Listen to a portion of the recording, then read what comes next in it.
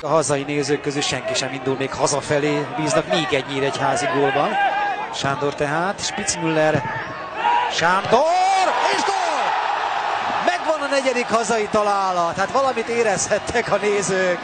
Elképesztő showműsor a vége. Ki hitte volna ezt? Most már minden bejön.